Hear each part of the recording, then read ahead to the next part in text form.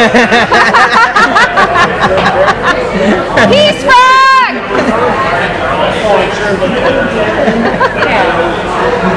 Just want to thank you all for coming today. We are Small Town Eviction. This is our first time playing at Sauerkraut Days, and I think one of our first times all playing together at a big gig like this.